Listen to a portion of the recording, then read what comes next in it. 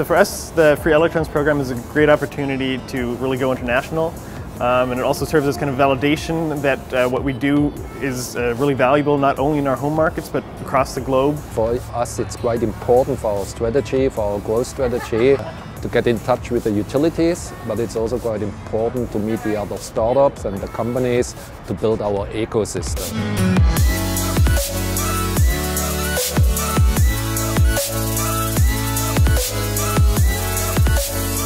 Not just about meeting startups and going to nice places.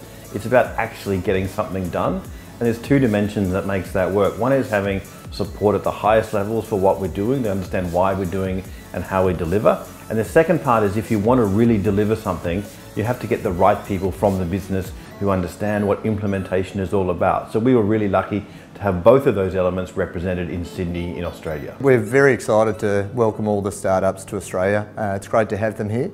During the week we've been working hard to figure out which ones we can work with in the short term to try to prove out some value in business model and technology.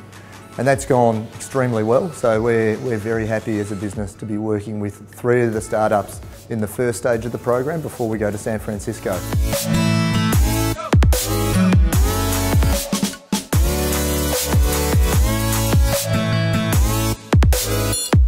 We're um, trying to do a, so doing things slightly differently, that we're trying to do a single installation pilot and then bring multiple utilities in, in on this single installation because it's all around reducing the cost of, uh, of, of, of electricity and energy storage, which benefits the whole industry.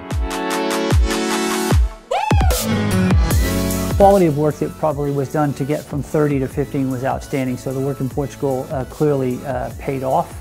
Uh, the quality of the, the, the, 15 that we have in the room today is exceptionally high. The, when you think about uh, uh, startups that should be in a program like this, you're looking for the quality of the, of, of the thinking, the quality of the talent, the, the quality of, of uh, the questions that they ask you, their ability to think about a plan, a pilot, uh, and then also to be able to explain what they do and how they do that. And so I've been, I've been extremely impressed by the group and how they're able to do that very, very well.